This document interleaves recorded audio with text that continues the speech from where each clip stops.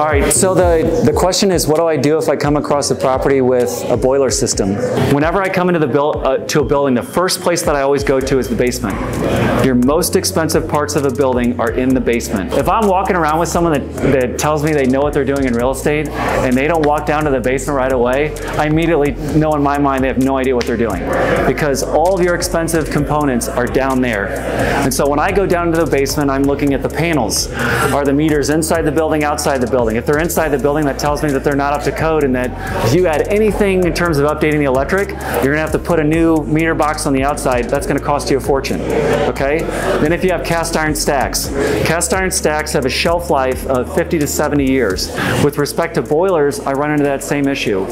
Forced air furnaces and central air, they're so much more efficient than a boiler system.